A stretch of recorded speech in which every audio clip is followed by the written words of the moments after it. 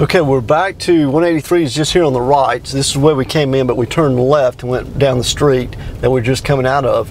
Now we're going to go ahead and go on the back side. So if you can imagine how this is, you've got just a long finger cove over to my left here coming into uh, the land. So you got properties that are on the left hand side of the finger cove, and then you've got properties on the right hand side of the cove.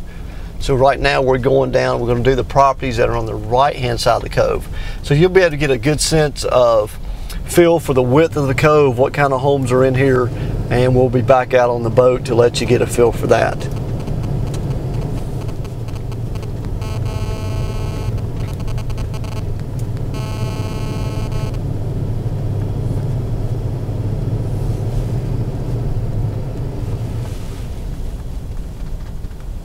So we're just going to circle around here and this road's actually just going to come to a dead end.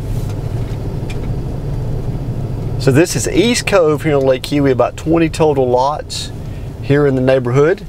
And uh, we'll be back by boat to let you see, see the rest of that.